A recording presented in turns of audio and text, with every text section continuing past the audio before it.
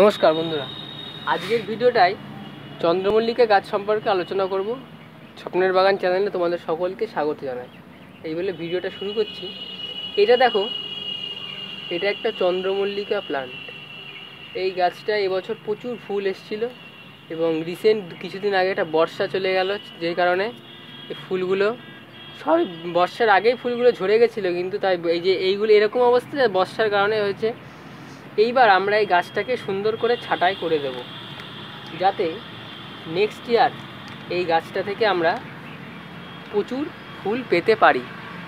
সেই জন্য দেখো আমি দেখাচ্ছি, সেটা হচ্ছে এই গাছটা যে প্রচুর আগে মানে এই বছর তো প্রচুর ফুল এসেছিল, আমরা নেক্সট ইয়ার এবার যা ফুল পেয়েছি তার চেয়ে আরও অনেক বেশি ফুল পাবো।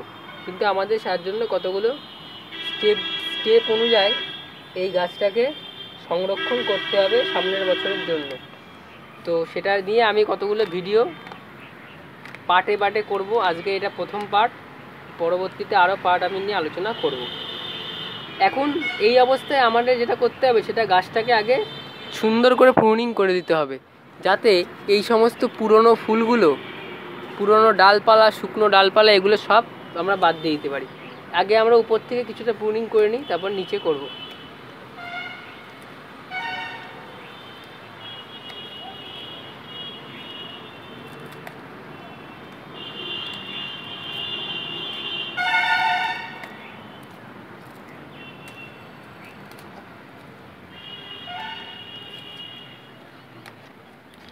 এইবার যে কথাটা আসি, সেটা হচ্ছে এই গাছটায় এখন এখানে দেখা যাচ্ছে যে অনেক কম ছোটো মানে নতুন পাতাই বেরিয়েছে, একদম অল্প, বেশি এখনও অবধি বেরোয়নি।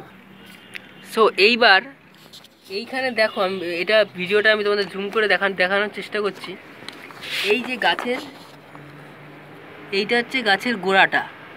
এই গোড়ার থেকে একটু উপর থেকে বা গোড়ার থেকেও বেরোয় এরকম ছোট ছোট নতুন নতুন পাতা বেরোবে, নতুন কলি।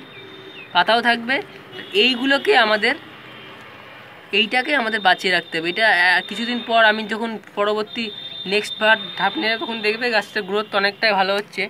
এবার আমরা কি করব। আমরা এই যে, এই উপরে যে ডালগুলো আছে, এগুলোকে রাখব না। এগুলোকেও কেটে দেবো।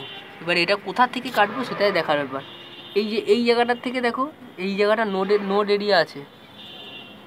এই জায়গাটায়।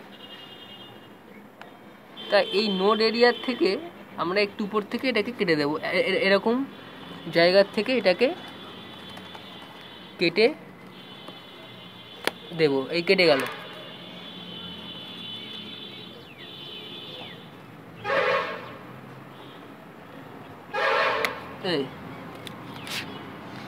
এই অবস্থায় গাছটাকে আমরা এবার কিছুদিন রেখে দেবো।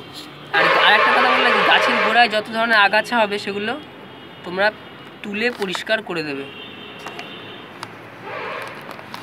আমি এই গাছটাকে একটা পলি ব্যাগে লাগিয়েছিলাম আট ইঞ্চি সাইজের তাই আমি এখন এটাকে রিপোর্ট করব না।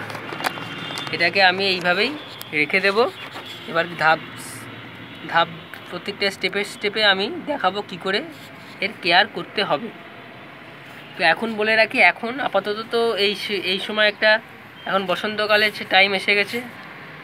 তাই এখন এই সময়টায় তোমরা অল্প কিছু গোবর সার অথবা ভার্মি কম্পোস্ট অন্য কোনো সার দেওয়ার প্রয়োজন, অন্য কোনো কেমিক্যাল ফার্টিলাইজার ইউজ করার আপাতত কোনো প্রয়োজন নেই।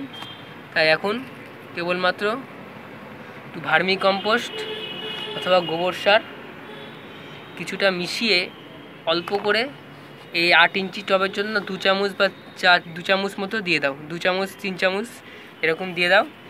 জৈব সার বেশি দিলেও ক্ষতি নেই। দিয়ে দাও আর মাটিটা হালকা করে তোমরা একটু খোদাই করে দিতে পারো। আর আপাতত কোনো পটাশ, সুপার ফসফেট এসব কিচ্ছু, কোনো ফার্টিলাইজার দেওয়ার কোনো প্রয়োজন নেই। আর এখন যেহেতু খুব একটা বৃষ্টি হচ্ছে না, এই মাঝে মধ্যে হালকা এখনও বৃষ্টি মানে বর্ষাতে এখনও গরমই আসেনি, তো বর্ষাতে এখন অনেক দেরি। এই সময় যে সিজনে যেই একটা বৃষ্টিটা হচ্ছে আমাদের এই সময়টায়। তো এই কারণে এই বৃষ্টিতে গাছ রাখলে তেমন গাছের ক্ষতি হবে না তোমরা।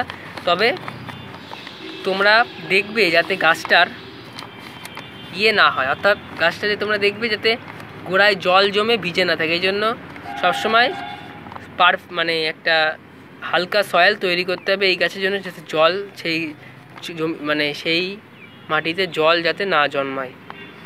জল না জমে থাকে। জল জমে থাকলে এই গাছের ক্ষতি। গাছে গোড়া পচে যেতে পারে, ফাঙ্গাস লেগে যেতে পারে। আর একটা কথা বলে রাখি, এখন আপাতত মাসে একদিন বা দুদিন করে, মাসে দুদিনই করো। দুদিন করে একটু ফাঙ্গিসাইড, সাপ অথবা ব্যাবিস্টিং যেগুলো পাওয়া যায়, যেটা তোমাদের কাছে সহজ অ্যাভেলেবেল থাকবে, সেটাই তোমরা স্প্রে করবে। আর একটু নিম অয়েল, এক মাস অন্তর স্প্রে করবে, দু, মাসে দুবার করে ফাঙ্গিসাইডটা স্প্রে করবে। আর মাটিতে যদি মাটি বেশি ভিজে থাকে, তাহলে জল দেওয়ার প্রয়োজন নেই। শুকনো উপরের অংশ শুকনো থাকলে অল্প অল্প জল দিয়ে দেবে। আর আপাতত এটা ডাইরেক্ট সানলাইটে রাখো, যেহেতু এখনও বর্ষা আসেনি, তাই তাই এটাকে এখন শেড শেড এরিয়ায় নিতে হবে না। এখন ডাইরেক্ট সানলাইটে রাখলে গাছের গ্রোথটা অনেকটা অংশে বাড়বে।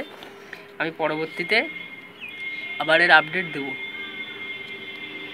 আর একটা কথা বলে রাখি, আমি এই বছর কিছু নার্সারি থেকে গাছ এনেছিলাম, চন্দ্রমল্লিকা। সেই গাছগুলোকে নতুনভাবে মাটিতে কীভাবে প্রতিস্থাপন করব, করে সারা বছর সংরক্ষণ করব, সেই বিষয়ের উপরও একটা ভিডিও খুব শিগগিরই আমার চ্যানেলে আপলোড করব।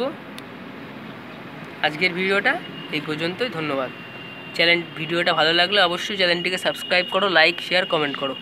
ধন্যবাদ।